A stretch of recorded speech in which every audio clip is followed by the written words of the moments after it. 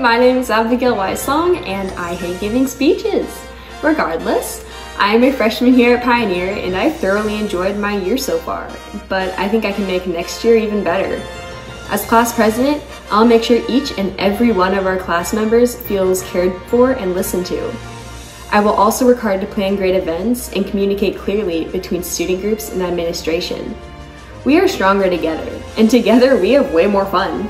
So vote for me and we'll make our sophomore year our best year yet. Hi guys, this is Saina Taman and I am uh, the class president uh, candidate for the class of 2025. Um, I'm doing this mainly because of my um, my passion for leading. I've always had a passion for leadership because I thought that leadership was someone who took responsibility and um, who took initiative and uh, ownership. But as I grew up, I realized that leadership is much more than that. Leadership is um, how you affect others, and I've fallen more in a more like content with being a leader or wanting to be a leader because of that aspect.